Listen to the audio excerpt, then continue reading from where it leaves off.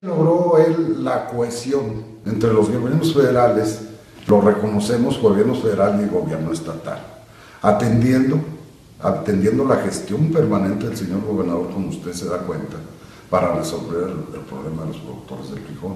Pero fue más allá, aparte de la cohesión entre instituciones, logró la cohesión entre acopiadores, de tal manera que ahorita estamos en una cohesión y reconocemos el esfuerzo de Juan Carlos que nos aperturó y de hecho técnicamente es nuestro representante en México para la salida del mercado de nuestro volumen acopiado.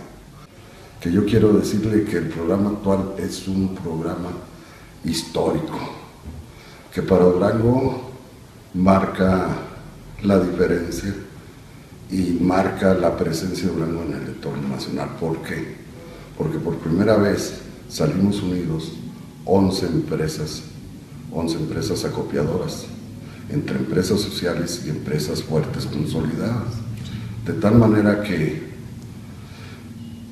aquí es muy importante destacar que cuando me preguntan, oye, ¿cuál es o cómo ves tú la situación del programa de acopio de frijoles? Bueno, les digo, pues ahorita a la fecha, tener 40 mil toneladas acopiadas por parte de, los, de las empresas, tener 6 mil, casi 6.500 productores apoyados, eso refleja la efectividad del programa, porque no hay que olvidar la fecha, estamos al 9 de febrero, 10 de febrero.